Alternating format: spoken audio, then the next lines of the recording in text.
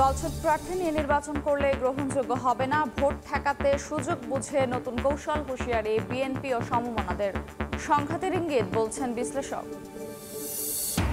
আন্দোলনের নামে বিএনপির জ্বালাও পোড়াও থেকে মুক্তি চাইলে ভোট দিতে হবে নৌকায়। লেট স্টকে সজীব ওয়াজের জয়। বললেন, তথ্য প্রযুক্তি নির্ভর প্রজন্মই গড়ে তুলবে স্মার্ট বাংলাদেশ। মাত্র দুইশো দশ টাকায় খুলনা থেকে ঢাকা, আজ থেকে স্বপ্নের পদ্মা সেতু হয়ে রাজধানীতে আসবে নকশি কাঁথা কমিউটার ট্রেন, উচ্ছ্বসিত যাত্রী।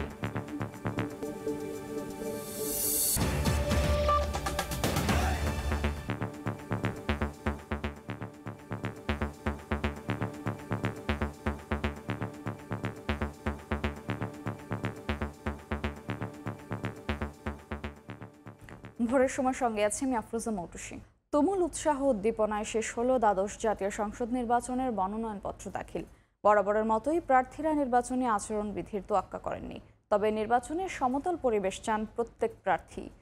তৃণমূল বিএনপির মহাসচিব বলছেন, নির্বাচন সুষ্ঠু না হলে যে সংকট তৈরি হবে, তার ভুক্তভোগী হবেন শেখ হাসিনা। আর আওয়ামী লীগের প্রার্থীদের কণ্ঠে প্রতিযোগিতাপূর্ণ নির্বাচনের আশা। মনোনয়নপত্র দাখিলের শেষ দিনে জমে ওঠে ঢাকার রিটার্নিং কর্মকর্তার কার্যালয়ে। এদিন সবচেয়ে বেশি সংখ্যক প্রার্থী দাখিল করেন নিজেদের মনোনয়নপত্র।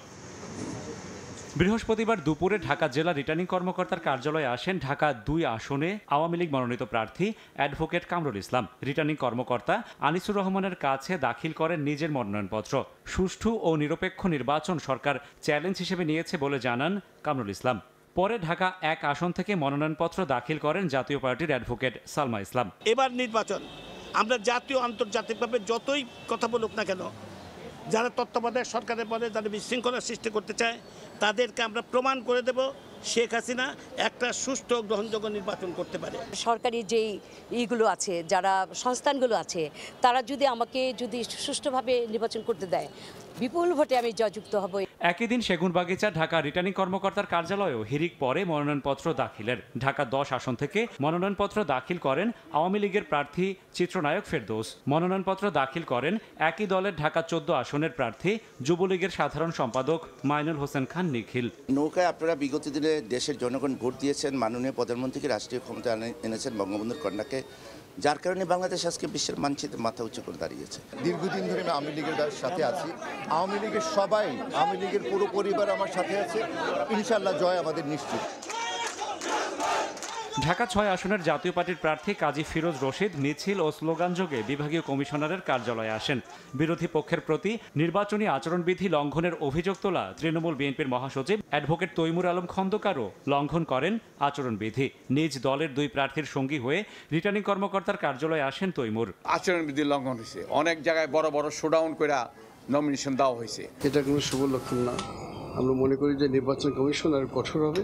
শুধু বড় বড় রাজনৈতিক দলই নয় শেষ দিন মনোনয়নপত্র দাখিল করেন অন্যান্য রাজনৈতিক দলের প্রার্থী ও স্বতন্ত্ররাও। কেউ আচরণবিধি লঙ্ঘন করলে আইন অনুযায়ী ব্যবস্থা নেওয়ার কথা জানান রিটার্নিং কর্মকর্তা।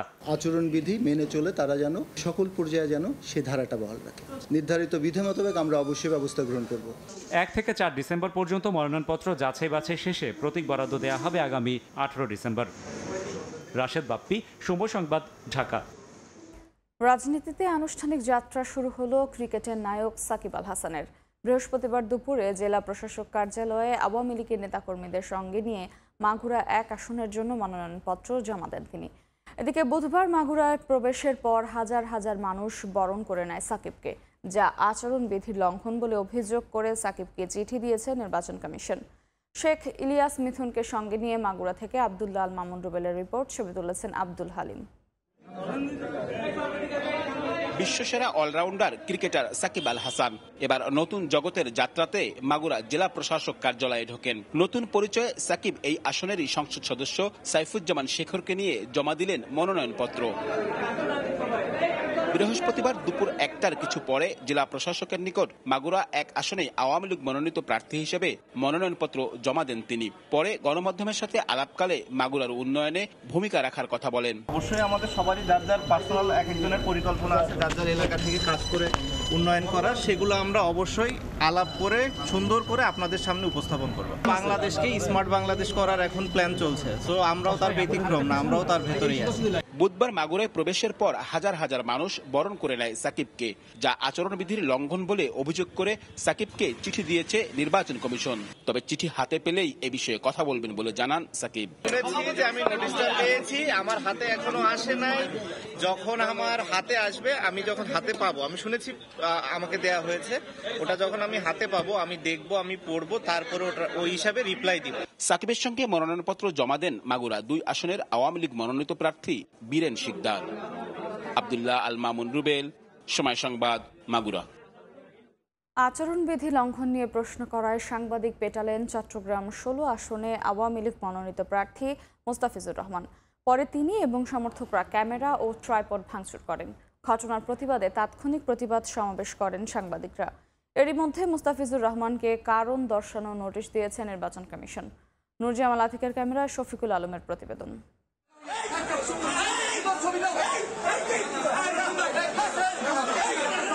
এভাবে সাংবাদিকদের ঘুষি মারতে তেরে আসেন চট্টগ্রাম ষোলো বাসখালীর সংসদ সদস্য মোস্তাফিজুর রহমান। বৃহস্পতিবার সকালে চট্টগ্রাম ষোলো আসন থেকে আওয়ামী লীগের মনোনয়নপত্র জমা দিতে নেতাকর্মীদের সঙ্গে নিয়ে জেলা প্রশাসন কার্যালয়ে আসেন আসনটির বর্তমান সংসদ সদস্য মোস্তাফিজুর রহমান। এ সময় নির্বাচনের আচরণবিধি লঙ্ঘন নিয়ে প্রশ্ন করায় সাংবাদিকদের উপর চড়াও হন তিনি। ক্যামেরা ভাঙার পাশাপাশি টেনে ছিঁড়ে ফেলেন মাইক্রোফোনের তার। পরে তার দেহরক্ষী ও নেতাকর্মীরা হামলা চালান সাংবাদিকদের উপর। সেই তারপর কিল, ঘুষে মারছে এরপর যখন আমরা প্রতিবাদ করতে গেছি, তার পান্ডা বাহিনীরা সকল সাংবাদিকের উপর হামলা করেছে ক্যামেরাম্যান গুরুত্ব করেছে এ ঘটনার পরপরই রিটার্নিং কর্মকর্তার কার্যালয়ের সামনে হামলার প্রতিবাদে সমাবেশ করেন গণমাধ্যম কর্মীরা। অতীতে তিনি যেভাবে সাংবাদিকদের বিরুদ্ধে নানা ধরনের অপকর্ম করে পার পেয়েছেন এবারও সেটা পার পেয়ে যাবেন সেটা ভুল করবেন। এদিকে সিসিটিভির ফুটেজ দেখে ব্যবস্থা নেওয়ার আশ্বাস রিটার্নিং কর্মকর্তার। আপনারা লিখিত অভিযোগ দিবেন আমরা এটি রিটার্নিং অফিসার হিসাবে আমি এটি নির্বাচন কমিশন সচিবালয়ে পাঠাবো এবং নির্বাচন কমিশন এ বিষয়ে আইনগতভাবে ব্যবস্থা গ্রহণ করবে। মোস্তাফিজুর রহমানের বিরুদ্ধে প্রকাশ্যে অস্ত্র উঁচিয়ে মহড়া ও দলের সাধারণ সম্পাদককে গালমন্দ করার ভিডিও ভাইরাল হয়েছিল। শফিকুল আলম সময় সংবাদ চট্টগ্রাম। নৌকা প্রতীকে নির্বাচন করতেই দল থেকে পদত্যাগ করলেন বিএনপির vice chairman barrister Shahjahan Omar Bir Uttam. নাশকতার মামলায় জামিন পেয়ে একদিন পর প্রধানমন্ত্রীর সঙ্গে দেখা করে ঝালকাঠি এক আসন থেকে আওয়ামী লীগের টিকিট নিশ্চিত করেন তিনি। বৃহস্পতিবার সন্ধ্যায় সময় সংবাদকে দেয়া সাক্ষাৎকারে একথা জানান শাহজাহান ওমর নিজেই। বুধবার সকালে জামিন। দুপুরেই কারামুক্ত হন বিএনপির vice chairman barrister Shahjahan Omar Biruttam. এরপরেই গুঞ্জন ওঠে নির্বাচনে অংশ নিচ্ছেন দলটির নেতা। হান্ড্রেড পার্সেন্ট সত্য। বৃহস্পতিবার সন্ধ্যায় ঘোষণা এলো ঝালকাঠি এক আসন থেকে নৌকার প্রতীকে নির্বাচন করার। আওয়ামী লীগের চিঠি পেয়ে মনোনয়নপত্র জমা দিয়েছেন শাহজাহান ওমর। আজকে সকালে আমার কাছে অফার আসছে PM also see you if you are willing তা আমি চিন্তা করলাম আমার ফ্যামিলির সঙ্গে আলাপ করলাম। বলতে ডাকছে এত বড় একজন নেত্রী ডাকছে মস্কো। প্রধানমন্ত্রী আমাকে ডাকছে আমি গিয়েছি। গিয়ে বলছি তা আমাকে বলছে আপনি আমার ভাই নির্বাচন করেন। আলহামদুলিল্লাহ। তো কীভাবে করবেন? আপনার ভাই ডাকছেন আপনার আমার কাছে আমি কীভাবে নির্বাচন করব? আপনার আমার নিয়ে করব? বলছে ঠিক আছে আলহামদুলিল্লাহ আসসালামু আলাইকুম। বিএনপি ছাড়ার কারণ হিসেবে শাহজাহান ওমর বলেন দল বারবার নির্বাচনে না যাওয়া এবং নিজ আসনের জনগণের চাপেই তার এমন সিদ্ধান্ত। এতদিন বিএনপি করেছি last forty five years BNP নির্বাচনে যাচ্ছে না। আমরা তো নির্বাচন করি দেশের জনগণের খেদমত করার জন্য। দেশের জনগণের খেদমত করার সুযোগ পাচ্ছি না। তো আমি ভাবলাম যে এই মুহূর্তে নির্বাচন করতে হয় এবং নির্বাচন করলে ঠুনকা মুনকা পার্টি তো আমার যাওয়া সাজে না বা পারিও না। আমি স্ট্রেট নির্বাচনে যাব আওয়ামী লীগ প্রার্থী মার্কা নিয়ে নৌকা মার্কা নিয়ে আমি নির্বাচনে যাই। সেই হিসেবে আমি সিদ্ধান্ত নিয়েছি। কারাগারে যাওয়ার আগে তত্ত্বাবধায়ক সরকারের অধীনে নির্বাচনের দাবিতে সোচ্চার ছিলেন শাহজাহান ওমর। মুক্তির পর কোনো চাপে এমন সিদ্ধান্ত কিনা এমন প্রশ্নেরও স্বভাবসুলভ জবাব দেন তিনি। চাপে কি আসলে দল ছাড়লে? না না না না না না না আমার কোনো চাপ নাই। আমার কোনো চাপ নাই। আমার ব্যাপারে এটা প্রযোজ্য না। আর জেলখানা আমার চাপ দেয় কে? আমি যখন ভালোই ছিলাম ডিভিশনে। মনোনয়নপত্র জমা দেওয়ার শেষ দিনে এসে দলের প্রভাবশালী এই নেতার এমন সিদ্ধান্তকে ভালোভাবে নেয়নি দল। দলীয় শৃঙ্খলা ভঙ্গের জন্য দলের সদস্য পদ সহ সব পদ থেকে শাহজাহান ওমরকে বহিষ্কার করেছে বিএনপি। আহমেদ সালেহিন সময় সংবাদ ঢাকা। কিছু দলছুট প্রার্থী নিয়ে নির্বাচন করলে তা গ্রহণযোগ্য হবে না বলে মনে করে বিএনপি ও সমমনা দলগুলো। নেতারা বলছেন নির্বাচন প্রতিরোধে সুযোগ বুঝে নেওয়া হবে নতুন কৌশল। এদিকে প্রতিহতের এমন হুঁশিয়ারি সংঘাতের ইঙ্গিত বলছেন নির্বাচন বিশ্লেষকরা। যদিও দু হাজার তেরো চোদ্দ সালের মতো পরিস্থিতি হবে না বলেও মনে করছেন তারা। রাশেদ লিমনের রিপোর্ট। বৃহস্পতিবার মনোনয়নপত্র দাখিলের শেষ দিনে সারা দেশেই হিরিক পরে ভোটে প্রার্থী হবার। বিএনপি সহ সমমনাদের বর্জনের মধ্যেই মনোনয়ন জমার উৎসব করে আওয়ামী লীগ, জাতীয় পার্টি, তৃণমূল বিএনপি সহ বেশিরভাগ নিবন্ধিত দল। পাশাপাশি স্বতন্ত্র হয়েছেন অনেকেই। সেই তালিকায় চমক হিসেবে আছেন বিএনপির প্রথম সারির বেশ কিছু নেতা। শেষ মুহূর্তে এসে সবচেয়ে বড় চমক দিয়েছেন বিএনপির vice chairman barrister Shahjahan Omar Biruttam. নৌকা প্রতীক নিয়ে মনোনয়ন জমা দিয়েছেন তিনি। বিএনপি কিংবা সমমনরা বলছেন, দলছুট কয়েকজন নেতাকে দলে ফেরালে তা দিয়ে নির্বাচনের গ্রহণযোগ্যতা দেয়া যাবে না। বিএনপি হলো বাংলাদেশের সর্ববৃহৎ রাজনৈতিক দল এবং তাদের সাথে আরও প্রায় উনচল্লিশটি দল রয়েছে। তাদেরকে বাদ দিয়ে কিছু দালালদেরকে নিয়ে নির্বাচন করবে। প্রত্যেক বছর গরুর মতো তারা টাকা পাইলে বিক্রি হয়। প্রত্যেকটা নির্বাচনে এই ধরনের লোকগুলি বিক্রি হয়েছে। সুতরাং দালালদেরকে দিয়ে নির্বাচন করলে এই নির্বাচন জনগণের কাছে গ্রহণযোগ্য হবে না। তারা বলছেন সাত জানুয়ারি এখনও অনেক দূরে তার আগে অবস্থা বুঝে নেওয়া হবে নতুন কর্মসূচি। যখন যে সমস্যা হবে তখনই এটা আলোচনা হবে এবং কর্মপদ্ধতি নির্ধারণ হবে। এদিকে ভোটে না এসে প্রতিহতের এই ঘোষণা তৈরি করতে পারে নতুন সংকট। যদিও পরিস্থিতি দু হাজার চোদ্দ সালের মতো না হলেও সরকার আর কমিশনকে সতর্ক হওয়ার পরামর্শ নির্বাচন বিশেষজ্ঞদের। বিএনপি এবং তার সাথে কিছু দল যারা নির্বাচনে অংশগ্রহণ করছে না, হরতাল অবরোধের পরিবর্তে হয়তো তারা অন্য কোনো স্ট্র্যাটেজি তারা হয়তো অবলম্বন করবে। কিন্তু যেটাই করুক, তাদের মূল লক্ষ্য হবে এখন এই মুহূর্তে যে নির্বাচনটা যেন প্রতিহত করে। সেটা করতে গেলে যে জিনিসটা হবে, সেখানে একটা সংঘাতময় একটা পরিস্থিতি যেটা হবে, সেটা সত্যি অনাকাঙ্ক্ষিত। দু হাজার তেরো সালের যে সরকারের অভিজ্ঞতার প্রেক্ষিতে আমি মনে করি যে এই নির্বাচনে সরকার তো অবশ্যই সেই দিকগুলো সেভাবে টেক কেয়ার করবে। সেক্ষেত্রে নির্বাচনে অংশ নেওয়া দলগুলোকে কমিশনকে সহায়তা করার পরামর্শ সাবেক এই নির্বাচন কমিশনারের। অবনতি না হয়। রাশেদ লিমন সময় সংবাদ ঢাকা। আওয়ামী লীগ সাধারণ সম্পাদক ওবায়দুল কাদের বলেছেন বিদ্রোহী ও স্বতন্ত্র প্রার্থীদের আগামী ষোলো ডিসেম্বর পর্যন্ত পর্যবেক্ষণ করে পরবর্তীতে চূড়ান্ত সিদ্ধান্ত নেওয়া হবে। বৃহস্পতিবার দুপুরে ধানমন্ডিতে আওয়ামী লীগ সভাপতির কার্যালয়ে সংবাদ সম্মেলনে তিনি কথা বলেন। জানান, নির্বাচনে জোটের বিষয়েও এখনও পর্যন্ত সিদ্ধান্ত হয়নি।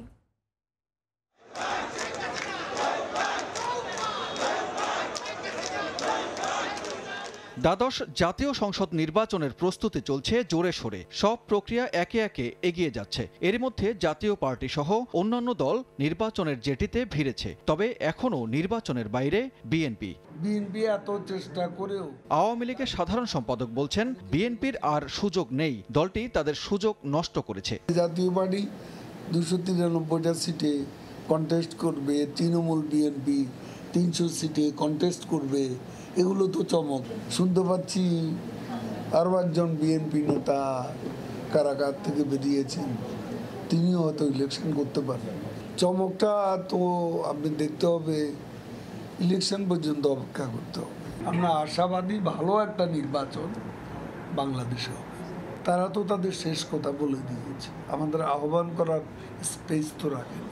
এদিকে এখনও জোট বা বিদ্রোহী প্রার্থী নিয়ে কোনো সিদ্ধান্তে পৌঁছায়নি আওয়ামী লীগ। আগামী ষোলো ডিসেম্বর পর্যন্ত পর্যবেক্ষণ করে বিদ্রোহী বা স্বতন্ত্র প্রার্থীর বিষয়ে সিদ্ধান্ত নেবে দল। কথা হবে জোটের বিষয়েও। ষোলো তারিখ পর্যন্ত দেখব কার কি অবস্থান কে বিদ্রোহী, কে স্বতন্ত্র। এগুলো দেখে আমাদের একটা স্ট্র্যাটেজি আছে, সে অনুযায়ী আমরা এগিয়ে যাব। শরিকদের অ্যাকোমোডেট করতে গিয়ে ইলেকটেবল নয় এমন প্রার্থী মনোনয়ন আমরা কেন দেব? যাকে টেনে তোলা যাবে না ক্রেন দিয়ে তোলা যাবে না এরকম ক্যান্ডিডেট আমরা কেন দিতে দেবো?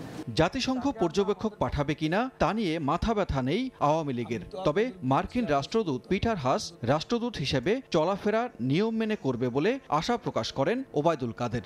আমরা বিশ্বাস করি তিনি সেটা মেনে চলবেন সানবির রূপল সময় সংবাদ ঢাকা। সিআরআই আয়োজিত লেটস টক অনুষ্ঠানে স্মার্ট বাংলাদেশ প্রসঙ্গে তরুণদের প্রশ্নের মুখোমুখি সজীব ওয়াজিদ জয়।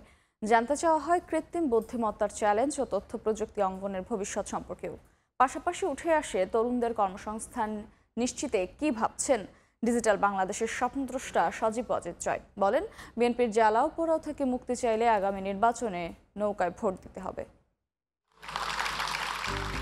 দেশের উদ্যমী ও উদ্ভাবনী শক্তির তারুণ্যকে নিয়ে গেল কয়েক বছর ধরে centre for research and information CRI আয়োজন করে লেটস্টক সেই ধারাবাহিকতায় এবারও আয়োজন করা হয় এই অনুষ্ঠান। এবারের আয়োজনে অতিথি হয়েছেন সজীব অজের জয় এবারের থিম, স্মার্ট বাংলাদেশ।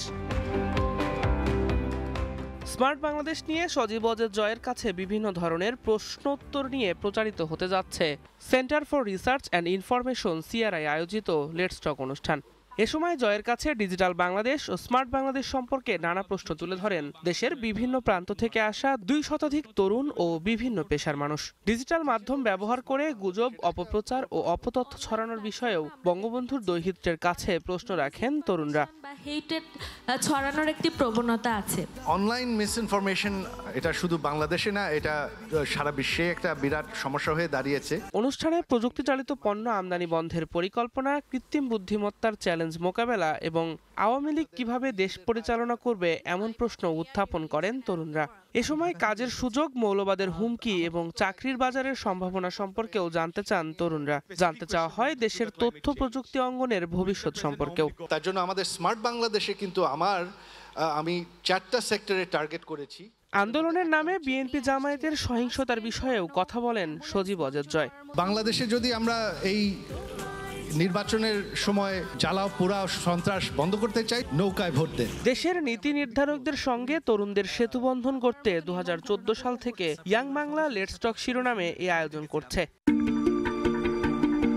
এর আগে দুহাজার আঠারো সালে প্রধানমন্ত্রী শেখ হাসিনাকে নিয়েও লেটস্টক আয়োজন করা হয়। সেখানে দেশ নিয়ে তরুণদের ভাবনার কথা শোনেন প্রধানমন্ত্রী শেখ হাসিনা। একই সঙ্গে সেই অনুষ্ঠানে তরুণদের নিয়ে তার ভাবনার কথাও জানান প্রধানমন্ত্রী। আমার প্রশ্নটা স্বাস্থ্য খাত লেটস্টকের এটি একান্নতম আসর। দিন মোহাম্মদ সাব্বির সময় সংবাদ ঢাকা। ছুটি থেকে ফিরে পররাষ্ট্র সচিবের সঙ্গে ঘণ্টাব্যাপী বৈঠক করলেন মার্কিন রাষ্ট্রদূত পিটার হাস। তবে এতে উদ্বিগ্ন হওয়ার কিছু নেই জানিয়ে পররাষ্ট্রমন্ত্রী জানান নিয়মিত কূটনীতির অংশ ছিল এই বৈঠক। এদিকে যুক্তরাষ্ট্রের নতুন শ্রমনীতি নিয়েও সরকার চিন্তিত নয় জানিয়ে তিনি বলেন মার্কিন সরকার চাইলেই সে দেশের বেসরকারি প্রতিষ্ঠানগুলোকে বাংলাদেশের পোশাক আমদানি বন্ধ করাতে পারবে না।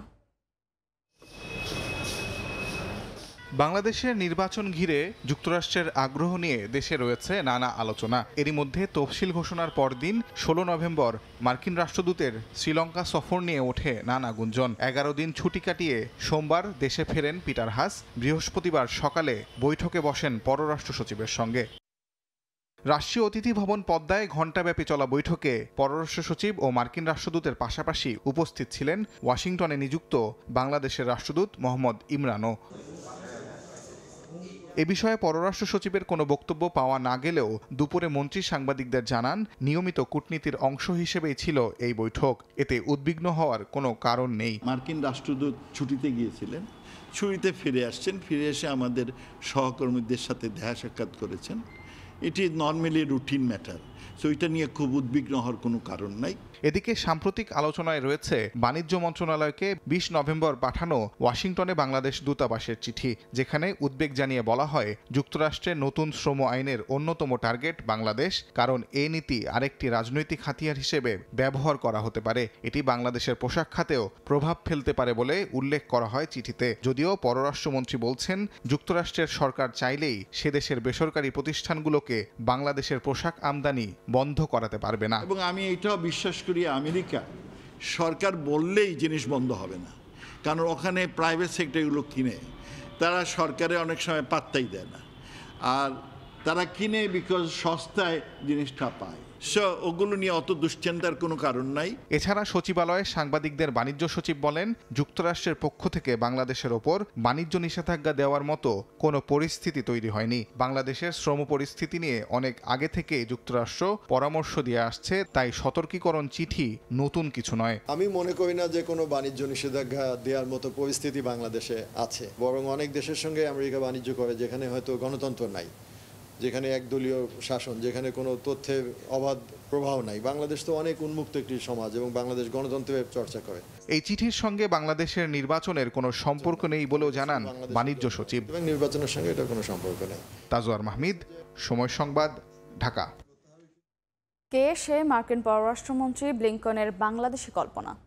শ্রমিক অধিকার ইস্যুতে, যার পাশে দাঁড়াতে দৃঢ় প্রতিজ্ঞ পুরো যুক্তরাষ্ট্র, অথচ শ্রমিক নেতাদের ইঙ্গিত, বিতর্কমুক্ত নয় কল্পনার নিজের শ্রমনীতি। আর তাকে তো সরাসরি দেশের অর্থনীতি ধ্বংসের কারিগরি বলছেন পোশাক শিল্প মালিকরা। এমন বিতর্কের মধ্যেই আবার কল্পনা আক্তারের সংগঠনের সাধারণ সম্পাদক মনে করেন, মার্কিন গ্লোবাল লেবার পলিসিতে হয়তো রাজনৈতিক ক্ষোভেরই শিকার হয়েছে বাংলাদেশ। যদিও মার্কিন অর্থায়নে এনজিও চালানো কল্পনার বক্তব্য, যুক্তরাষ্ট্রের চাওয়া মেনে নিলেই ঝুঁকিমুক্ত দেশ। ব্লিংকনের বক্তব্যের পর সময় সংবাদের অনুসন্ধানে উঠে এসেছে এমন তথ্য। কামরুল হাসান সবুজের রিপোর্ট। গেল ষোলো নভেম্বর মার্কিন পররাষ্ট্রমন্ত্রী অ্যান্টনি ব্লিংকেন ব্রিফিংয়ে বলেন We want to be there for people like Kalpana Adkar, a Bangladeshi garment worker, an activist. কে এই কল্পনা আক্তার? কেন মার্কিন যুক্তরাষ্ট্র তার পাশে দাঁড়াতে চায়? আমরা একটি সংবাদ খুঁজছি। দুই হাজার ছয় সালের অক্টোবরে যা তোলপাড় করেছিল বিশ্ববাজার। বাংলাদেশি পোশাক কারখানা হারভেস্ট রিচের বিরুদ্ধে শিশু শ্রমের অভিযোগ তুলে একটি অনুসন্ধানী সংবাদ প্রচার করেছিল যুক্তরাজ্য ভিত্তিক সংবাদ মাধ্যম চ্যানেল ফোর। এতদিন পরে কেন সেই পুরনো খবর? তার আগে জানা দরকার অভিযোগের সত্যতা কতটুকু? আমরা কথা বলি হারভেস্ট রিচের একটি সহযোগী প্রতিষ্ঠানের সাবেক মহাব্যবস্থাপকের সঙ্গে। তারা যে ছবিগুলি পাঠাইছে একজনকেও চাইল্ড লেবার হিসেবে আমরা চিহ্নিত করতে পারি না। এটা তো একটা বড় ধরনের ডিজাস্টার হয়ে গেল হারভেস্টিসের কাদের কারণে এমন পরিণতি হলো হারভেস্ট রিচের? দুই হাজার ছয় সালের সাত নভেম্বরের একটি পেপার কাটিংয়ে দেখা যায় সেখানে দায়ীদের বিদেশি অর্থপুষ্ট গোষ্ঠী হিসেবে তুলে ধরা হলেও কারোর নাম উল্লেখ করা হয়নি। কিন্তু আমরা জানতে চাই। শ্রমিকরা আমাদেরকে যেটা বলছিল যে আমাদের তো একটা মোবাইল ফোন দেওয়া হয়েছিল আমরা তো বিষয়গুলি বুঝি নাই আমাদের যা বলছে ফোনের বিনিময়ে আমরা তাই বলেছি। মোবাইল ফোনের লোভ দেখিয়েছিলেন কারা? আমেরিকার পররাষ্ট্র মন্ত্রী উনি যাদেরকে চেনেন, ওই সময়ের মধ্যে তাদের নামটাই আসছিল। যে যুক্তরাষ্ট্রের শ্রম অধিকার লঙ্ঘন আর শ্রমিক হত্যার প্রতিবাদে একশো বিশ বছর ধরে পালিত হচ্ছে বিশ্ব মে দিবস। সম্প্রতি সেই দেশটি বৈশ্বিক শ্রমনীতি ঘোষণা করে অন্য দেশকে দিয়েছে ভিসা ও বাণিজ্য নিষেধাজ্ঞার হুমকি। সেখানে কীভাবে এই শ্রমনীতি অনুসরণ করা হবে এমন ব্যাখ্যায় মার্কিন প্রশাসন বেছে নিয়েছে বাংলাদেশের কল্পনা আক্তারকে। শ্রমিক নেতা রনি কি তাহলে এই কল্পনা আক্তারের কথাই বলছিলেন? শুনতে চাই কল্পনার মুখেই। আপনাকে বাবুল ভাই হারভেস্ট রিচের ব্যাপারে উত্তর দিয়েছিলেন? তাহলে আপনার ওইটাতেই স্যাটিসফাই থাকেন। চলুন শুনে আসি বাবুল আক্তারের বক্তব্য।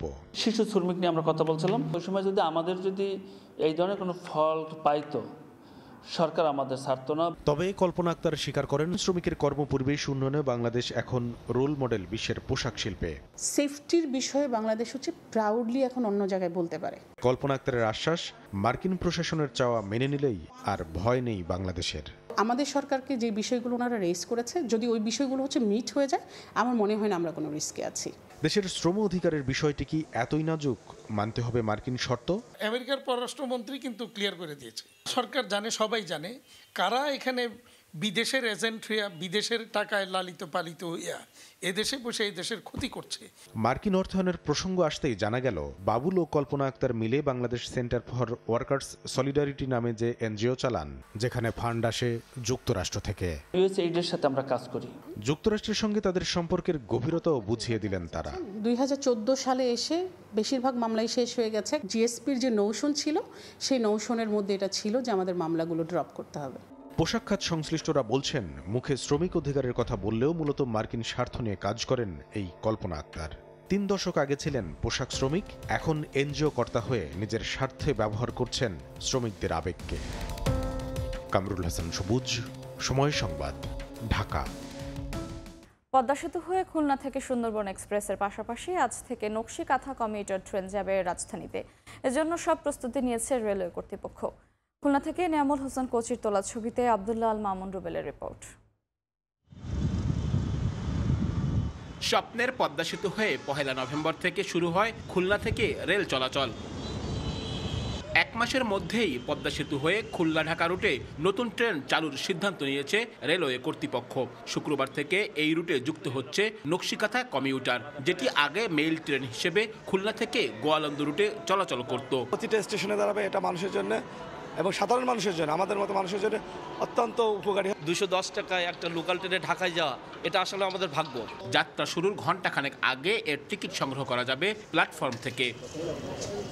নতুন এই ট্রেনটির যাত্রার জন্য এরই মধ্যে খুলনা রেলওয়ে কর্তৃপক্ষ প্রস্তুতি সম্পন্ন করেছে। নকশিকাতা কমিউটার ট্রেনটি ভাড়া তুলনামূলক আন্তনগর ট্রেনের চেয়ে কম। এই ট্রেনটি অনেক স্টেশনে অধিকতর স্টপেজ দিবে। নকশিকাথা ট্রেনটিতে ছয়টি কোচ থাকবে যাতে ছয়শো যাত্রী যাতায়াত করতে পারবেন।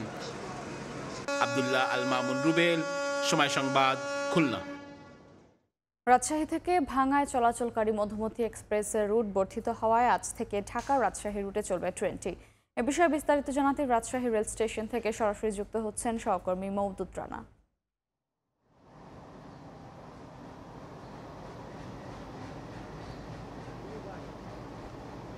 রাজশাহী থেকে তৃতীয় আন্তনগর ট্রেন হিসেবে পদ্মা সেতু পাড়ি দেবে মধুমাসি এবং এই মধুমতি ট্রেন পাড়ি দেওয়ার মধ্য দিয়ে রাজশাহীবাসীর একটি স্বপ্ন পূরণ হচ্ছে।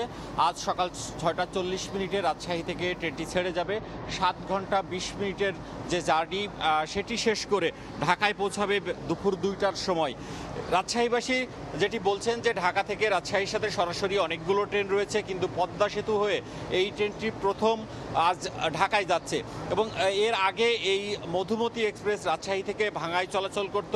আজকে থেকে মূলত সেই রুট বর্ধিত হয়ে ট্রেনটি ঢাকা রাজশাহী রুটে চলবে।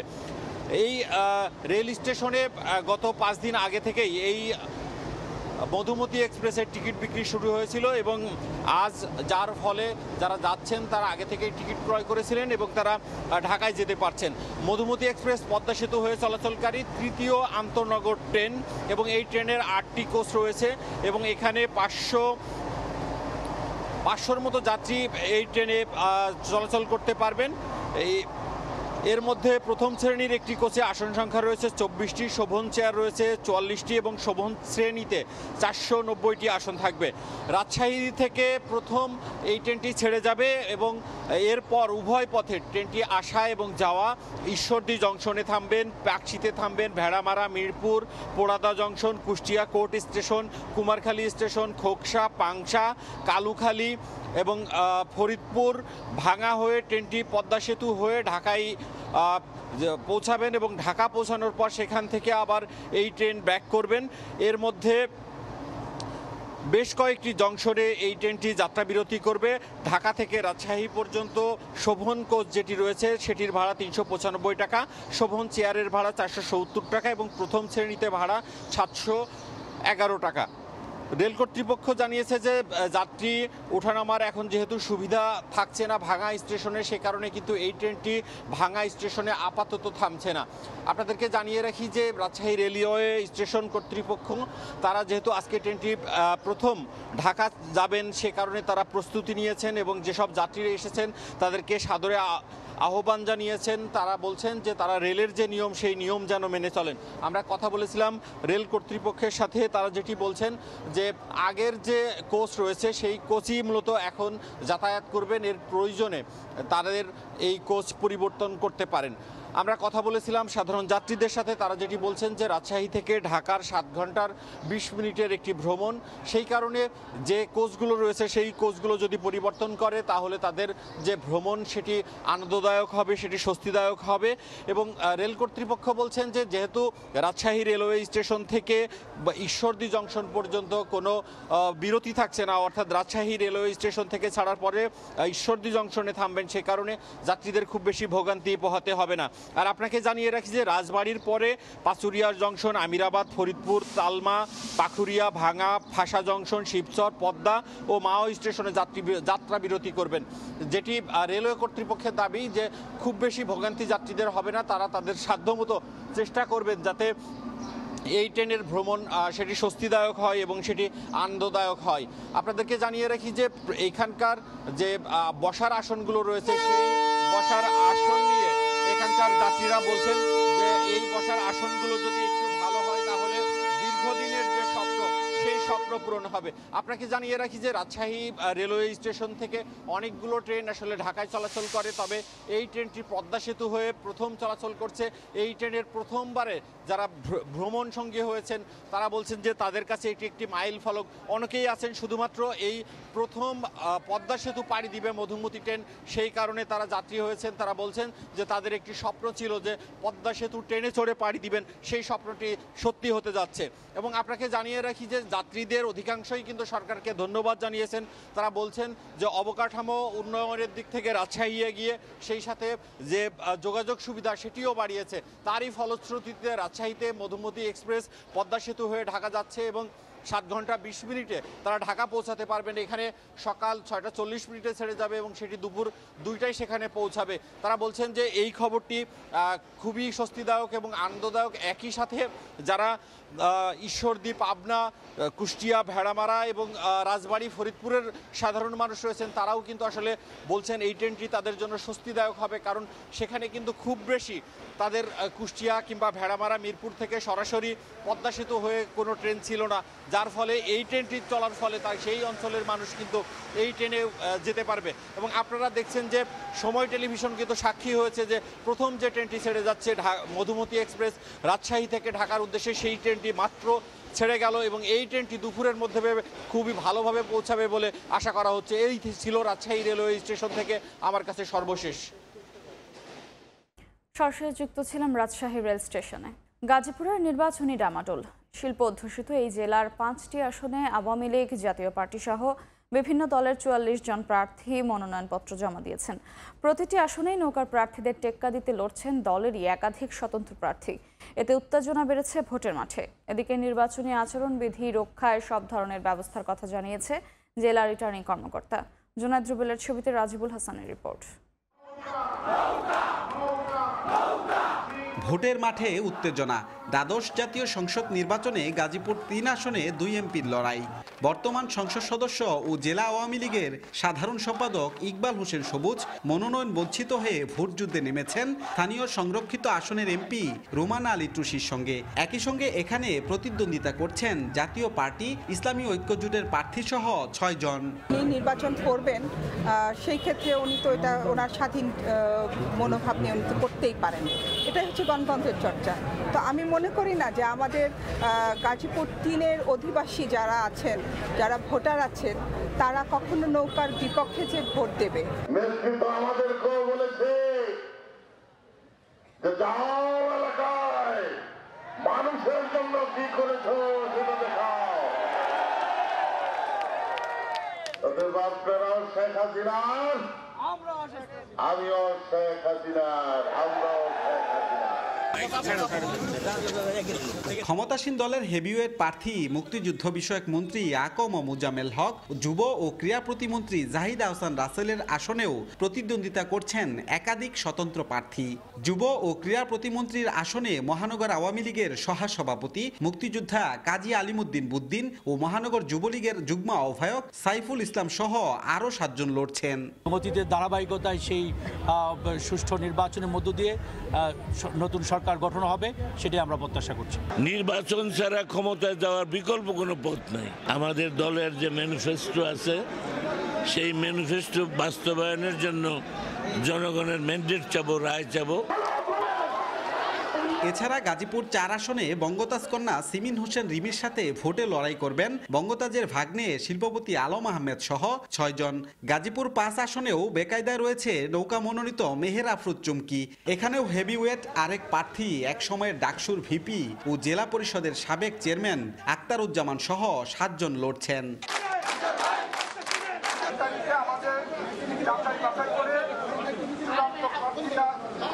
এদিকে জেলা প্রশাসক ও রিটার্নিং কর্মকর্তা নির্বাচনে সব ধরনের প্রস্তুতির কথা জানিয়ে বলছেন, আচরণ বিধি রক্ষায় কঠোর হচ্ছে প্রশাসন। প্রচার প্রচারণা যখন শুরু হবে, তখন আমাদের ম্যাজিস্ট্রেট ইতিমধ্যে নিয়োগ করা আছে, তখন এই বিষয়টি আরও কঠোরভাবে দেখা হবে।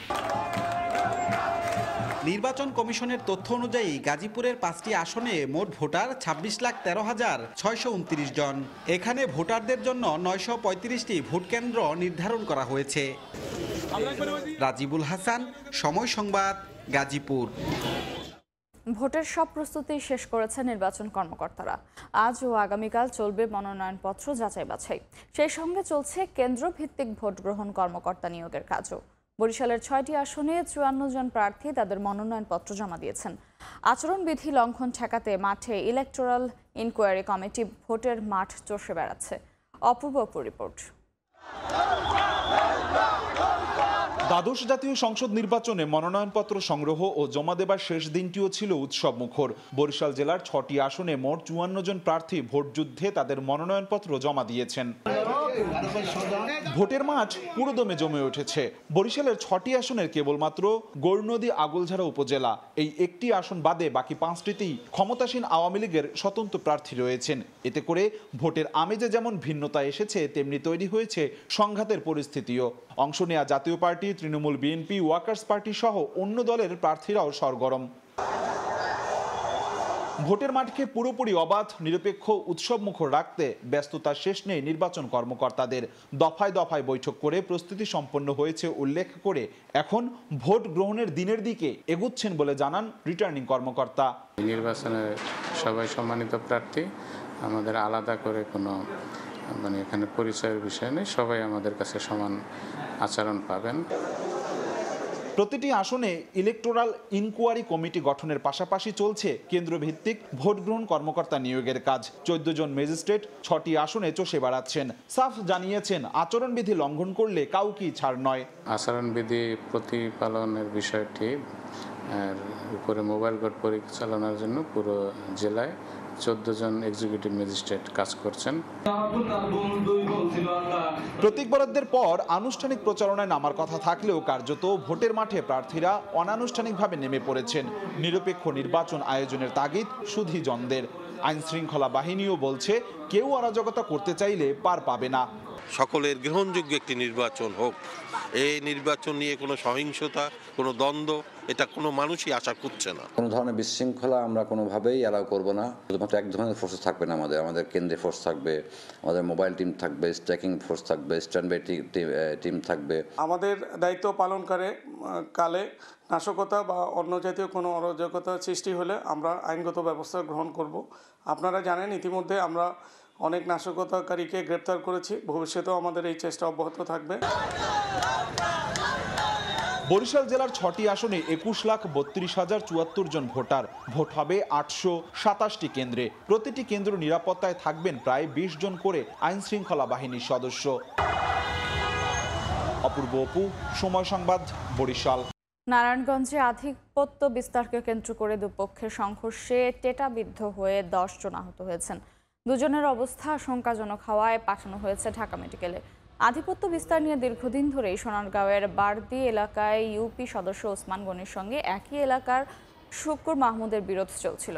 এরই জেরে বৃহস্পতিবার সকালে টেটা বল্লম রামদা সহ দেশীয় অস্ত্র নিয়ে দুপক্ষের লোকজন সংঘর্ষে জড়ায়।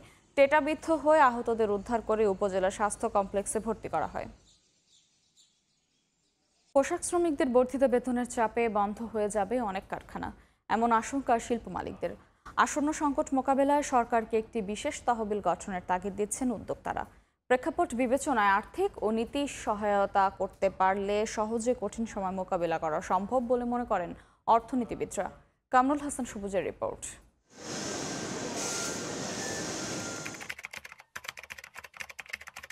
রপ্তানি পরিসংখ্যানে স্পষ্ট, ভালো সময় যাচ্ছে না দেশের প্রধান রপ্তানি খাত তৈরি পোশাক শিল্পের। অর্থনৈতিক মন্দার কবলে পড়া জনজীবনে মূল্যস্ফীতির চাপে বিপর্যস্ত, ইউরোপ, আমেরিকা চলছে ব্যয় সংকোচন নীতিতে। এর মধ্যে পোশাক শ্রমিকদের ন্যূনতম বেতন বাড়ানো হলো ছাপ্পান্ন দশমিক দুই পাঁচ শতাংশ। এর মানে আগে যে কাজ করতে একজন উদ্যোক্তার ব্যয় হতো একশো টাকা, ডিসেম্বরের এক তারিখ থেকে তা করতে লাগবে একশো ছাপ্পান্ন দশমিক দুই পাঁচ টাকা। বেতন বৃদ্ধির পাশাপাশি অর্জিত ছুটির দিনে কাজের বিনিময়ে ও ওভারটাইম মজুরিও করা হয়েছে, আগের তুলনায় প্রায় দ্বিগুণ। হিসাব বলছে, সর্বনিম্ন চতুর্থ গ্রেডের বেতন আট হাজার থেকে বাড়িয়ে সাড়ে বারো হাজার টাকা করা হলেও সব মিলিয়ে একজন শ্রমিকের মাসিক মজুরি দাঁড়াবে কমসে কম সতেরো হাজার টাকা। বেতনের এই বোঝা টানতে কতটা প্রস্তুত শিল্প মালিকরা? অন্তত এক থেকে দেড়শো ফ্যাক্টরি বন্ধ হবে আগামী ছয় মাস থেকে এক বছরের মধ্যে। এই মজুরি কাঠামো তারা অ্যাবজর্ব করতে পারবে না। এ অবস্থায় একটি বিশেষ তহবিল গঠনের তাগাদা দিচ্ছেন উদ্যোক্তারা যেন প্রয়োজন বুঝে সহযোগিতা করার সুযোগ থাকে সরকারের হাতে। সরকারকে এই যে মধ্যম শ্রেণির যে ফ্যাক্টরিগুলো যাদের এফোর্ডেবিলিটি কম এদেরকে অ্যাটলিস্ট তিন বছরের বা চার বছরের একটা সহায়তা নিয়ে আসা উচিত। যে যেটাতে সে তার যে গ্যাপ এটাকে সে ধরে রাখতে পারবে। সো সে যদি ধরে রাখতে পারে দশ বছরে সে কিন্তু সেটাকে ফিরিয়ে দিতে পারবে। বিশ্ব অর্থনীতি ঘুরে না দাঁড়ানো পর্যন্ত নীতি ও আর্থিক সহায়তা নিয়ে সরকারকে ব্যবসায়ীদের পাশে দাঁড়ানোর পরামর্শ দিচ্ছেন অর্থনীতিবিদরাও। বাইরেও কিন্তু সেভাবে আসলে আমাদেরকে সহায়তা করছে না। তাদের দিক থেকে যদি সহায়তাটা আসতো না তারা হয়তো মজুরি কিছুটা একটু বেশি দিবেন তাহলে সেই ক্ষেত্রে আমাদের যারা এক্সপোর্টার তারা কিছুটা হয়তো স্বস্তি পেতেন। কিন্তু সেদিক থেকে তেমন কোনো আসলে আগ্রহ নেই। তো সব মিলিয়ে যে পরিস্থিতি এই পরিস্থিতিতে আসলে সরকারকে পাশে দাঁড়াতে হবে। সংশ্লিষ্টরা বলছেন বিশেষ তহবিলে ভর করেই করোনার মতো মহামারী পার করে এখনও তৈরি পোশাকের বিশ্ববাজারে শক্ত অবস্থান ধরে রেখেছে মেড ইন বাংলাদেশ। কামরুল হাসান সবুজ সময় সংবাদ ঢাকা। মাদারীপুর সদরে উনত্রিশটি সরকারি দপ্তরের একশো চৌত্রিশটি পদই শূন্য যুগের পর যুগ। জনবল না থাকায় সেবা পাচ্ছেন না সাধারণ মানুষ। তবে দায়িত্বে থাকা কর্মকর্তারা বলছেন, সংশ্লিষ্ট মন্ত্রণালয়ে চিঠি দিলেও সদুত্তর পাওয়া যায়নি। সঞ্জয় কর্মকার অভিজিতের রিপোর্ট, ছবি তুলেছেন শাহাদত আকন মাদারীপুর সদর উপজেলার কৃষি কর্মকর্তার কার্যালয় গুরুত্বপূর্ণ অফিসটির কার্যক্রম চলছে খুঁড়িয়ে খুঁড়িয়ে। ষাটজন জনবলের বিপরীতে রয়েছে মাত্র একুশটি পদ এর মধ্যে তিরিশ জন উপসহকারী কৃষি কর্মকর্তার পদসহ উনচল্লিশটি পদ খালি থাকায় মিলছে না কাঙ্ক্ষিত সেবা। একই অবস্থা, স্বাস্থ্য ও পরিবার পরিকল্পনা কর্মকর্তার কার্যালয়ের মানুষের দোরগোড়ায় স্বাস্থ্যসেবা দেয়ার এই প্রতিষ্ঠানের স্বাস্থ্য সহকারী সহ উনচল্লিশটি পদেরই নেই কর্মকর্তা কর্মচারী। এদিকে পল্লী উন্নয়ন কর্মকর্তার কার্যালয়ের পঁয়তাল্লিশ বিএনপি জামায়াতের অবরোধে যাত্রী না থাকায় আয় কমেছে পাটুরিয়া দৌলতদিয়া ও আরিচা কাজিরহাট নৌরুটে। এতে তিন কোটি টাকা রাজস্ব হারিয়েছে সরকার। নৌপথে নাশকতা ঠেকাতে তৎপর নৌ পুলিশ। মোহাম্মদ ইউসুফ আলীর পাঠানো তথ্য, রমজান আলীর ছবিতে রিপোর্ট। বিএনপি জামায়াতের ডাকা দফায় দফায় হরতাল অবরোধের কারণে মহাসড়কে কমে গেছে যান চলাচল। এর প্রভাবে পাটুরিয়া, দৌলতদিয়া ও আরিচা কাজিরহাট নৌরুটে কমে এসেছে ফেরি ও লঞ্চ চলাচলও।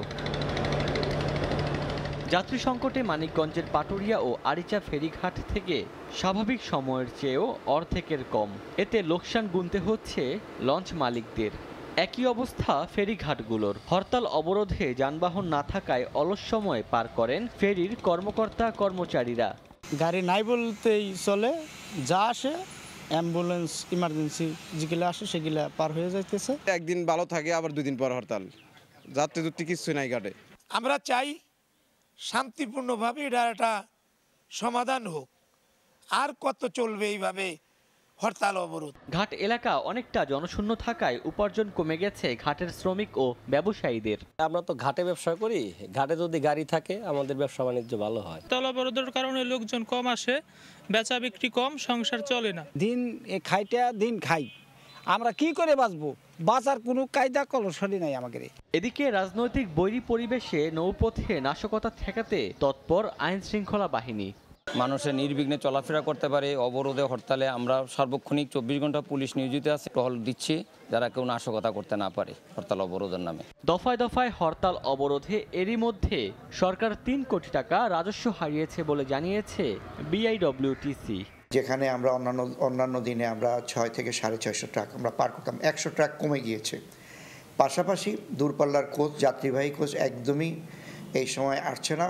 বিআইডব্লিউটিসির তথ্য মতে পাটুরিয়া দৌলতদিয়া ও আরিচা কাজিরহাট নৌরুটে স্বাভাবিক সময়ে দৈনিক দুই থেকে তিন হাজার যানবাহন পারাপার হলেও এখন তা অর্ধেকে নেমেছে। সময় সংবাদ, মানিকগঞ্জ। দিনাজপুরের হিলি সীমান্তে বর্ডার গার্ড বাংলাদেশ, বিজিবি ও ভারতীয় সীমান্তরক্ষী বাহিনী বিএসএফ এর মধ্যে পতাকা বৈঠক অনুষ্ঠিত হয়েছে। গতকাল সকালে বিএসএফ এর পতিরাম ব্যাটালিয়ন অধিনায়ক সুনীল কৌশিকের নেতৃত্বে পাঁচ সদস্যের প্রতিনিধি দলকে হিলি সীমান্তের শূন্য রেখায় জয়পুরহাট, বিশ বিজিবি ব্যাটালিয়ন অধিনায়ক লেফটেন্যান্ট কর্নেল তানজিলুর রহমান ফুল দিয়ে শুভেচ্ছা জানান। পরে সীমান্তের আইসিপি গেটে বিজেপির পোস্টে এক বৈঠক করে।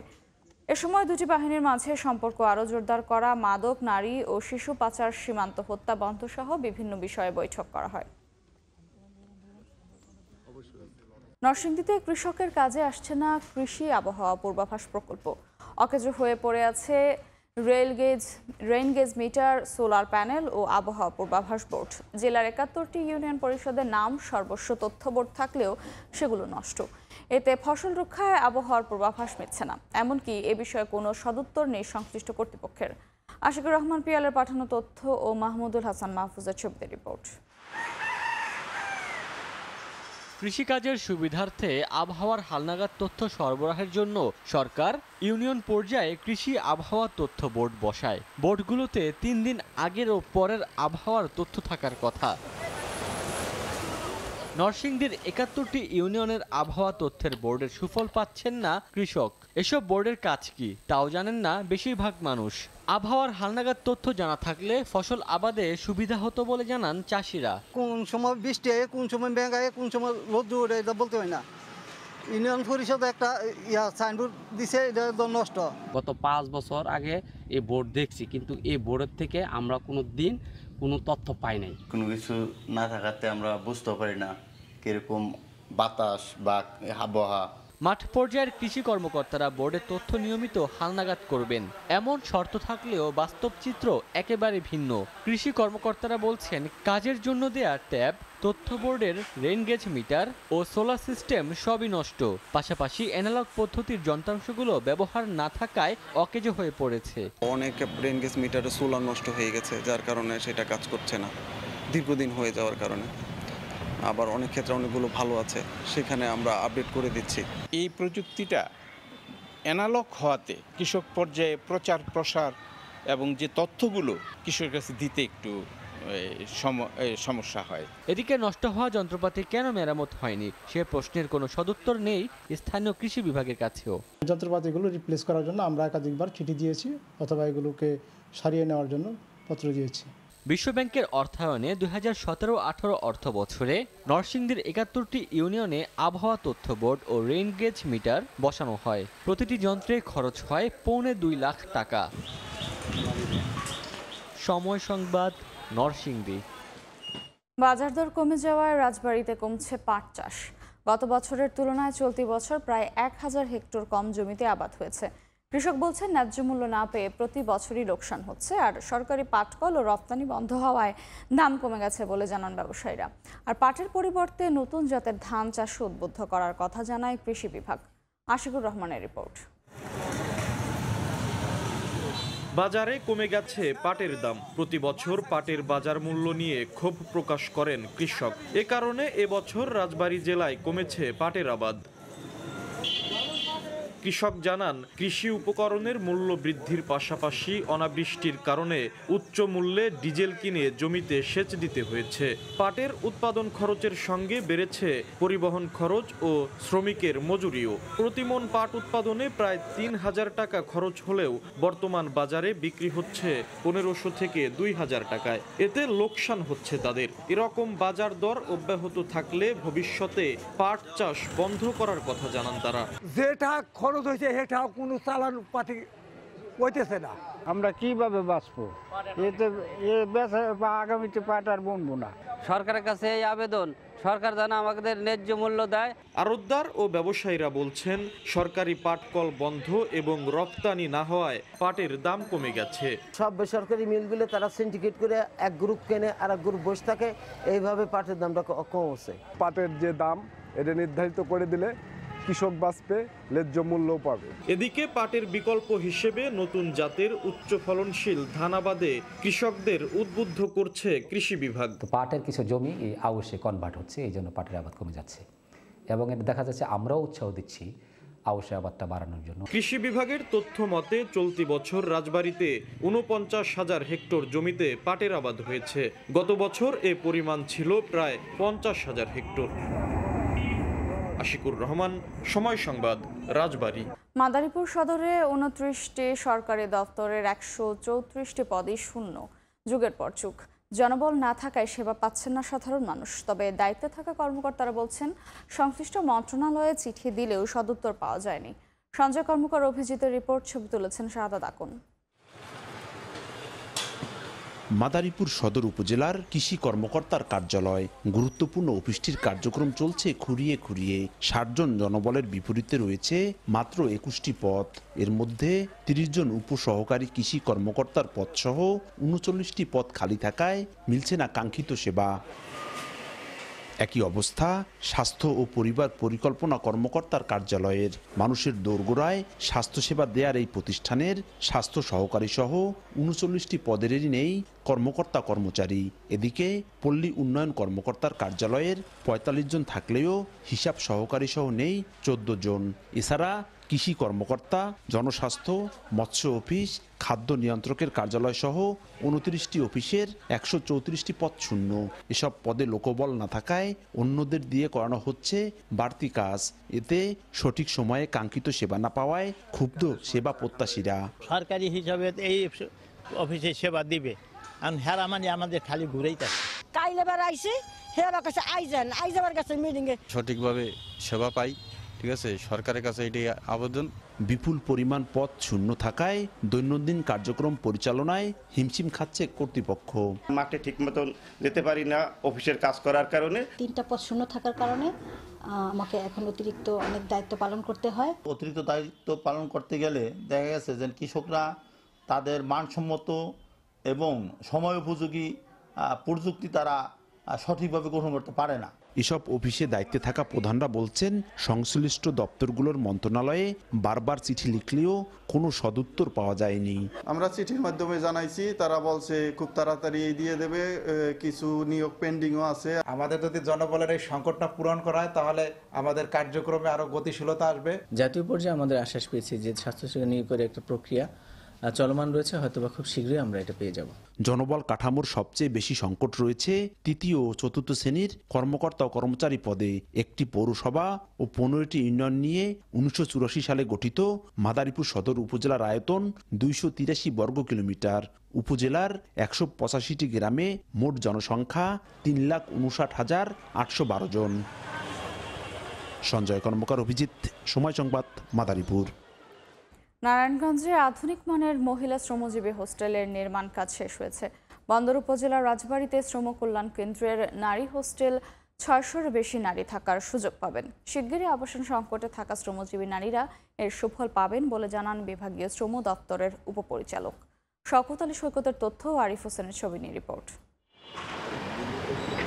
দেখে মনে হতে পারে বিলাসবহুল অভিজাত কোনো আবাসন প্রকল্প অথবা পাঁচ তারকা আবাসিক হোটেল। কিন্তু এটি নারায়ণগঞ্জ বন্দরে শ্রমকল্যাণ কেন্দ্রে নির্মিত জেলার প্রথম মহিলা শ্রমজীবী হোস্টেল। দু হাজার একুশ সালের আট ডিসেম্বর প্রধানমন্ত্রী শেখ হাসিনা ভিডিও কনফারেন্সের মাধ্যমে প্রকল্পটির উদ্বোধন করেন। রফতানিজাত তৈরি পোশাক শিল্পে কর্মরত বিশ লক্ষাধিক শ্রমিকের মধ্যে ষাট শতাংশ নারী শ্রমিকের আবাসন সমস্যা দূর করতে সরকার হোস্টেলটি নির্মাণের উদ্যোগ গ্রহণ করে। আধুনিক সুবিধা সম্পন্ন এই হোস্টেলে রয়েছে একুশটি সিঙ্গেল রুম, সাতটি ডাবল রুম এবং চারজনের জন্য পাঁচশো আশিটি বেড। প্রত্যেকের ব্যবহারের জন্য চেয়ার, টেবিল এবং ঢালাই খাট ছাড়াও রয়েছে প্রতি রুমের সঙ্গে একটি করে বারান্দা। নয়তলা ভবনের প্রতি ফ্লোরে ক্যান্টিনে রয়েছে স্বল্প খরচে দুই বেলা খাবারের ব্যবস্থা। বিনোদনের জন্য হলরুম অবসর সময় কাটানোর জন্য টেলিভিশন সহ নানা ব্যবস্থা রয়েছে। এছাড়া বিনামূল্যে চিকিৎসা ও ওষুধ সরবরাহ সহ অ্যাম্বুলেন্সের ব্যবস্থাও রয়েছে। আছে সুপ্রিয় পানি, লিফট, সিসি ক্যামেরা ও নিরাপত্তার জন্য থাকবেন অর্ধশতাধিক কর্মকর্তা ও কর্মচারী।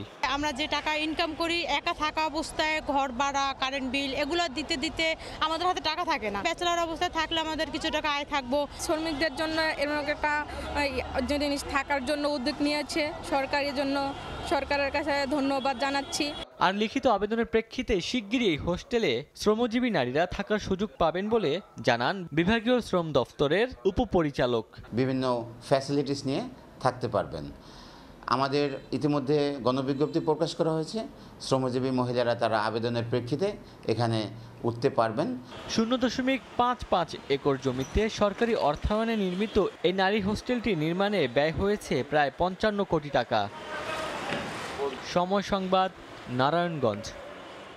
রাজশাহী প্রকৌশল ও প্রযুক্তি বিশ্ববিদ্যালয়ে প্রথমবারের মতো অনুষ্ঠিত হয়েছে ইন্ডাস্ট্রিয়াল একাডেমিয়া মিট। বৃহস্পতিবার দিনব্যাপী ক্যাম্পাসের গেস্ট হাউসের সেমিনার রুমে এই অনুষ্ঠানের আয়োজন করা হয়। এতে দেশি বিদেশি চুয়াত্তরটি ইন্ডাস্ট্রির প্রতিনিধিরা অংশ নেন। মূলত প্রযুক্তি বিশ্ববিদ্যালয় থেকে বের হওয়া গ্রাজুয়েট ও ইন্ডাস্ট্রির চাহিদার মধ্যে পার্থক্য মেটাতে বিশ্ববিদ্যালয়টি এই মিট আপের আয়োজন করে। মিট আপ শেষে বিশ্ববিদ্যালয়ের প্রতিটি বিভাগে ইন্ডাস্ট্রির প্রতিনিধিদের সমন্বয় করতে কমিটি গঠন করা হয়। ভারতের রাজস্থান ও মধ্যপ্রদেশে বিধানসভা নির্বাচনে বিজেপি, কংগ্রেস হাড্ডাহাড্ডি লড়াইয়ের আভাস মিলেছে বুথ ফেরত সমীক্ষায়। জরিপ বলছে, রাজ্যগুলোতে দল দুটির মধ্যে যে কেউ জিততে পারে। কোনো কোনো সমীক্ষক সংস্থার মতে পাঁচ বছর পর পর শাসক বদলের রীতি এবারও রাজস্থানে বজায় থাকছে। কংগ্রেসকে হারিয়ে ক্ষমতা দখল করবে বিজেপি। আবার কেউ কেউ মনে করছে কংগ্রেসের মুখ্যমন্ত্রী অশোক গেহলট এবার ত্রিশ বছরের রীতি বদলাতে চলেছেন। সমীক্ষকেরা একই রকম দ্বিধা বিভক্ত মধ্যপ্রদেশ নিয়েও কেউ কেউ বিজেপি, কেউ কং, বা কংগ্রেসের সামান্য এগিয়ে রেখেছেন। তবে ছত্তিশগড়ের ফল নিয়ে বেশিরভাগই একমত। সেখানে কংগ্রেস দ্বিতীয়বারের মতো সরকার গড়বে বলে সমীক্ষকেরা প্রায় নিশ্চিত। তবে আগের বারের তুলনায় কংগ্রেসের আসন কমবে ও বিজেপির বাড়বে বলে মনে করা হচ্ছে। সাত নভেম্বর থেকে শুরু করে ত্রিশ তারিখ পর্যন্ত ছত্তিশগড়, তেলেঙ্গানা মিজোরামা মিজোরাম সহ কয়েকটি রাজ্যে ভোটাভুটি হয়। বৃহস্পতিবার শেষ দফার ভোট হয় তেলেঙ্গায় ভোটের ফল প্রকাশ হবে তিন ডিসেম্বর। পাকিস্তান তেহরিক ইনসাফ পিটিআই এর চেয়ারম্যান পদ থেকে সরে দাঁড়াচ্ছেন ইমরান খান। এরই মধ্যে অন্তর্বর্তীকালীন চেয়ারম্যান পদে নিজের আইনজীবী গহর আলী খানকে মনোনীত করেছেন তিনি। তবে ইমরান খান মনোনীত করলেও আগামী দুই ডিসেম্বর পিটিআই এর দলীয় সম্মেলনে চেয়ারম্যান পদে নির্বাচন হবে। ওই নির্বাচনে বিজয়ী হলে চেয়ারম্যান পদ নিশ্চিত হবে ব্যারিস্টার গহর আলীর। যদিও গণমাধ্যম বলছে, নির্বাচনে ইমরান খানের মনোনয়নের বাইরে কারও নির্বাচিত হওয়ার সম্ভাবনা নেই। পাকিস্তানের সাবেক এই প্রধানমন্ত্রীর ওপর থেকে অযোগ্য আদেশ আদালত তুলে নিলে তিনি আবারও চেয়ারম্যান পদ ফেরত পাবেন বলে জানিয়েছে দলটির শীর্ষস্থানীয় এক নেতা।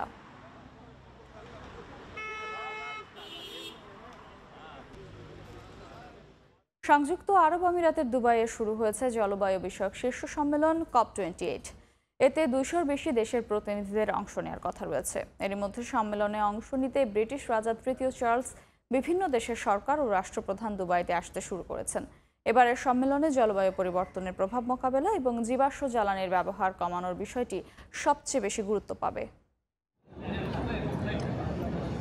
দুবাইয়ে হচ্ছে জলবায়ু শীর্ষ সম্মেলন কপ টোয়েন্টি এইট। এতে দুইশো দেশের প্রতিনিধিরা যোগ দিচ্ছেন। জলবায়ু পরিবর্তনের প্রভাব প্রতিরোধ, জীবাশ্ম জ্বালানি ব্যবহার থেকে সরে আসা সহ জলবায়ু পরিবর্তনের কারণে ক্ষতিগ্রস্ত দেশগুলোর বাঁচা মরার সম্মেলনই হচ্ছে কনফারেন্স অব দ্য পার্টি বা কপ সম্মেলন।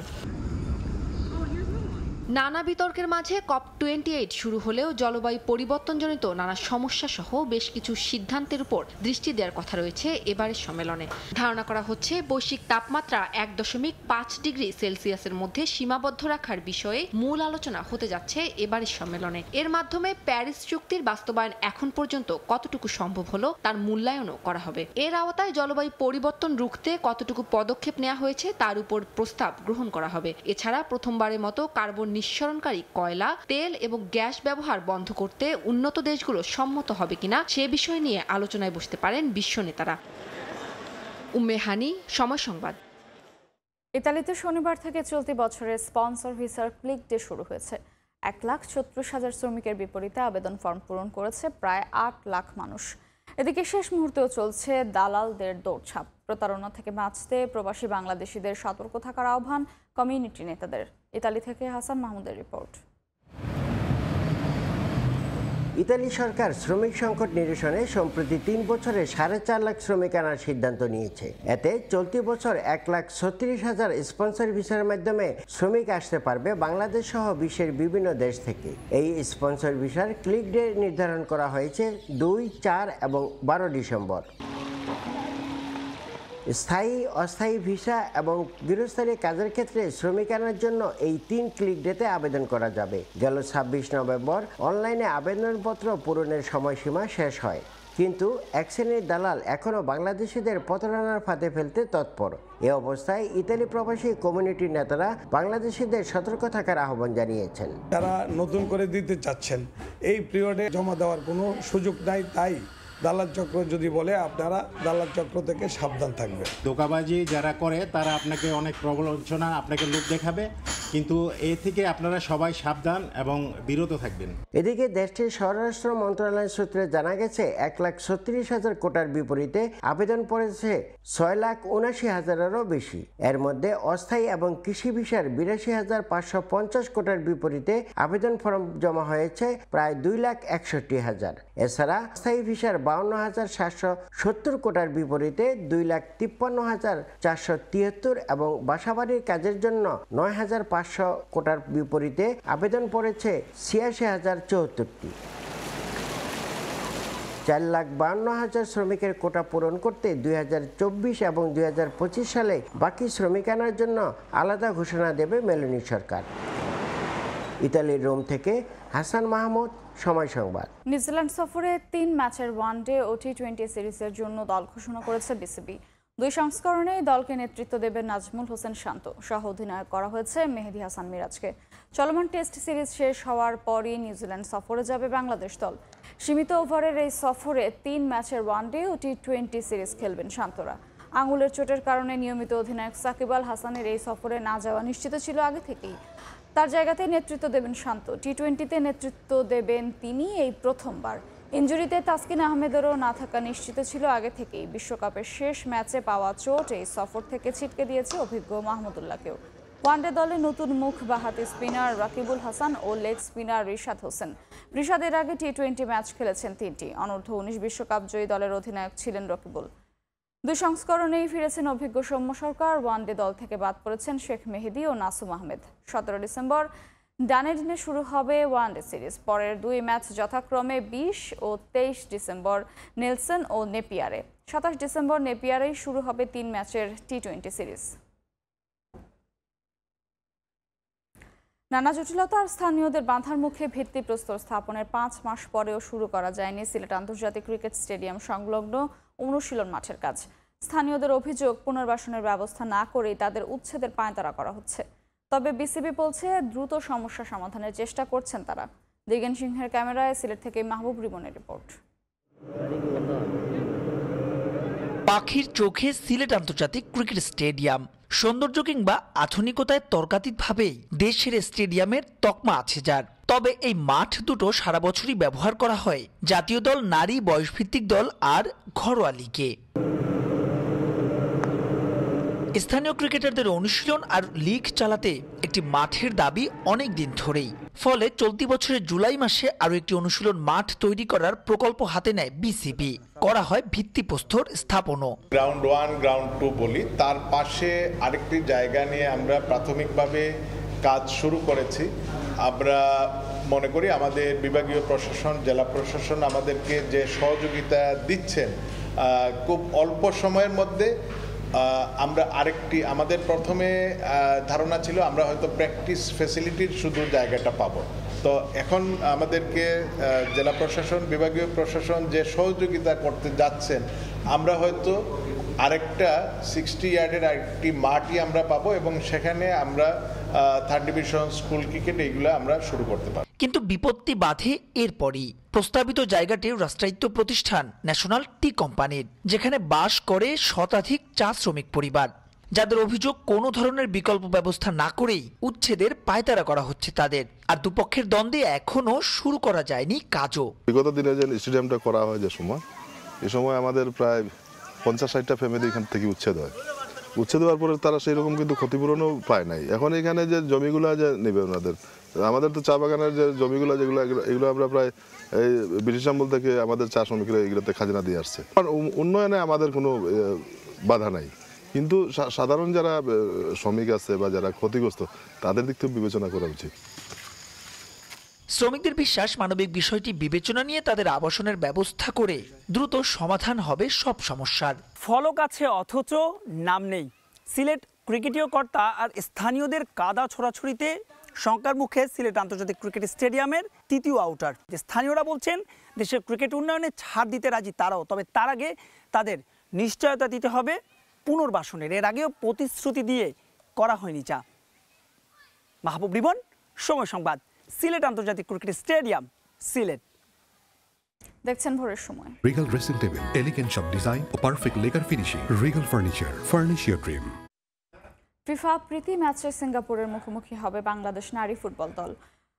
কমলাপুর স্টেডিয়ামে ম্যাচটি শুরু হবে আজ বিকেল চারটায়। কন্ডিশন পরিচিত হলেও প্রতিপক্ষ একেবারেই অচেনা সাবিনা মারিয়াদের। কিন্তু সেসব নিয়ে না ভেবে জয়ের জন্য মাঠে নামবে দক্ষিণ এশিয়ার চ্যাম্পিয়নরা। আর র্যাঙ্কিংয়ে এগিয়ে থাকলেও বাংলাদেশকে সমীহ করছে সিঙ্গাপুরের কোচ পরন্ত বিকেলে কমলাপুর স্টেডিয়ামে কঠোর অনুশীলনে ব্যস্ত বাংলাদেশ নারী দল। কোচ সাইফুল বাড়ি টিটুর ক্লাসে তহুরা সুমাইয়ারা মনোযোগী ছাত্রী। দীর্ঘদিন পর আবারও দেশের মাটিতে ফিরতে যাচ্ছে নারীদের ফুটবল। চলতি বছর সবশেষ নেপালের বিপক্ষে কমলাপুরে গোলশূন্য ড্র করেছিল সাবিনা মারিয়ারা। তবে এবার হোমে জয় হাতছাড়া করতে চায় না দল। তাই প্রস্তুতিতে বিন্দু পরিমাণ ছাড় দিতে নারাজ কোচ সাইফুল বাড়ি টিটু।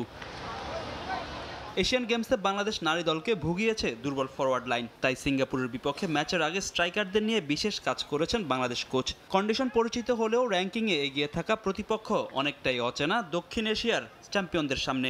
আমি মোটামুটি আমার টিম নিয়ে কনফিডেন্ট এবং আশা রাখছি যে ভালো দুইটা ম্যাচ দর্শক মাঠে এসে দেখবে। ইঞ্জুরির কারণে ছিটকে গেছেন ফরওয়ার্ড কৃষ্ণা রানী। তার পরিবর্তে আক্রমণের দায়িত্ব সামলাতে পারেন ঋতুপর্ণা চাকমা। পিচটা একটা অ্যাডভান্টেজ থাকবে যেহেতু আমরা এখানে নিয়মিত ট্রেনিং করি। সবচেয়ে বড় কথা হচ্ছে যে ওরা গতকাল এসেছে একটা জায়গায় গেলে মানানোর সময়টা যতটা কম দেওয়া পাওয়া উচিত আমরা পেয়ে পাচ্ছি ওইটাই আমাদের কাজে লাগানো উচিত। স্বাগতিকদের অনুশীলনের পর মাঠে আসে সিঙ্গাপুর দল। ম্যাচের আগে আত্মবিশ্বাসী দলটা। দীর্ঘ ভ্রমণের পরেও ফুটবলারদের চোখে মুখে নেই ক্লান্তির ছাপ। খানিক স্ট্রেচিং করেই নেমে পড়েন অনুশীলনে। অ্যাওয়ে ম্যাচ খেলার আগে প্রস্তুতিতে ঘাটতি রাখতে চায় না তারাও। Ranking though Bangladesh is behind us ranking ব্যবধানে এগিয়ে থাকলেও সেটা বড় বিষয় নয়। সাম্প্রতিক সময় বাংলাদেশ ভালো খেলছে। তাদের বিপক্ষে ভালো ম্যাচ হবে। তবে আমরা জয়ের জন্যই মাঠে নামবো রিজাল্টস রিসেন্টলি চার ডিসেম্বর একই ভেন্যুতে দ্বিতীয় প্রীতি ম্যাচে মুখোমুখি হবে বাংলাদেশ ও সিঙ্গাপুর নারী ফুটবল দল। ফাহিম ইসলাম সময় সংবাদ ঢাকা। বাংলাদেশ ফুটবল ফেডারেশনের লিগ কমিটির চেয়ারম্যানের দায়িত্ব থেকে সরে দাঁড়ালেন কাজী সালাউদ্দিন। সেই পদে দায়িত্ব নিয়েছেন বাফুফের সহসভাপতি ইমরুল হাসান। ক্লাবের দায়িত্বে থাকলেও ইমরুল হাসানের লিগ কমিটির চেয়ারম্যান পদ সামলাতে কোনো বাধা নেই বলে মনে করেন বাফুফের সভাপতি। আর দায়িত্ব নিয়ে লীগের কার্যক্রম আরও গতিশীল করার কথা জানিয়েছেন নতুন লিগ কমিটির চেয়ারম্যান। যতই হোক but we we are doing the right thing you see one thing Kazi Salauddin সব পারেন। যেমন দায়িত্ব নিতে তেমন আবার হঠাৎ করে ছেড়েও দিতে। ব্যক্তিগত কারণ দেখিয়ে বাংলাদেশ ফুটবল ফেডারেশনের লিগ কমিটির দায়িত্ব গ্রহণের এক বছরের মাথায় পদ থেকে সরে দাঁড়ালেন বাফুফের সভাপতি। তার ছেড়ে দেওয়া পদে ফেডারেশনের সহ সভাপতি ইমরুল হাসানকে নতুন লিগ কমিটির চেয়ারম্যান হিসেবে মনোনীত করা হয়েছে। এখন থেকে যে লিগগুলো হবে professional league BPL R BCL will be under him. He's the new chairman. এর আগে বারো বছর পেশাদার লীগ কমিটির চেয়ারম্যানের দায়িত্ব সামলিয়েছেন বাফুফের সিনিয়র সহসভাপতি সালাম মুর্শিদি তবে এক বছর আগে দায়িত্ব পালনে তিনি অপারগতা প্রকাশ করলে নির্বাহী কমিটির সিদ্ধান্তে তার থেকে দায়িত্ব নিয়েছিলেন কাজী সালাউদ্দিন বাফুফের সহসভাপতি হলেও বাংলাদেশ প্রিমিয়ার লিগের টানা চারবারের চ্যাম্পিয়ন বসুন্ধরা কিংসের সভাপতি ইমরুল হাসান কেন ক্লাবের সঙ্গে জড়িত নয় এমন কাউকে দায়িত্ব না দিয়ে লিগ কমিটির চেয়ারম্যান পদে ইমরুল হাসানকে দায়িত্ব দেওয়া হয়েছে, তারও ব্যাখ্যা দিয়েলেন কাজী সালাউদ্দিন। বিকজ ইসে এখানে সবাই সবাই যে টাইমটা দিতে পারে না ইটস এ বিগ ফ্যাক্টর টাইমটা বিকজ আমার যে যারা আছেন, তারা সবাই অনেক কিছুতে ব্যস্ত আছেন। ব্যবসা ইলেকশন অনেক কিছু আছে, রাজনীতি রাজনীতি নিয়ে। So I think he's the right man to look after this our national team যার কাছে আছে for the time being he is the right man finance যার কাছে আছে he is the right man because we have to run this federation দায়িত্ব গ্রহণ করে লিগকে আরও গতিশীল করবেন বলে জানিয়েছেন ইমরুল হাসান। সেই সঙ্গে আন্তর্জাতিক সূচির সঙ্গে সামঞ্জস্য রেখে ঘরোয়া লিগের সূচি তৈরি করার প্রত্যয় নতুন চেয়ারম্যানের। আমি চেষ্টা করব আমার উপর অর্পিত দায়িত্ব ঠিকভাবে পালন করার জন্য।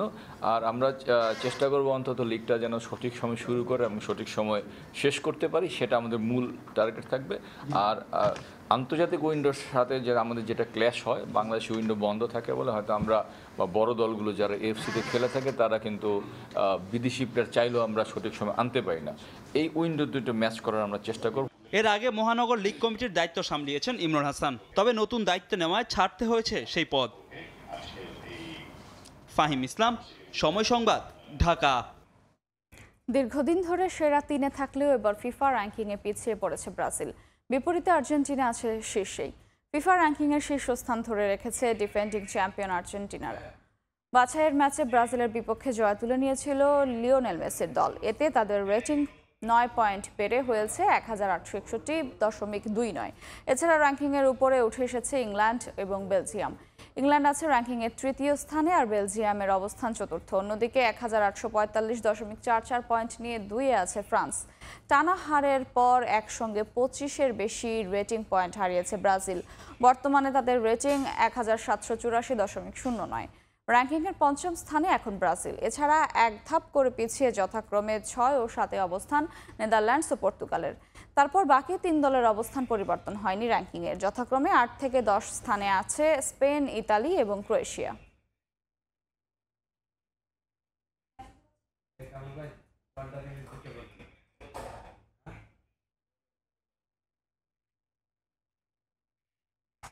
এ পর্যায়ে শীর্ষ সংবাদগুলো জানিয়ে দিচ্ছি আরেকবার।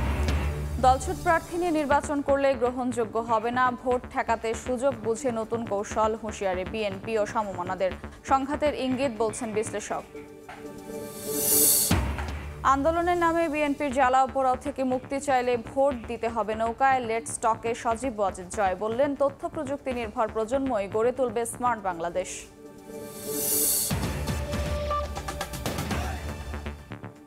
এই ছিল ভোরের সময়, সকালের সময় সঙ্গে থাকবেন কনক আজাদ। ধন্যবাদ মৌটুসি আপনাকে। সকালের সময় নিয়ে ফিরছে কিছুক্ষণ পর সঙ্গে থাকুন সময়।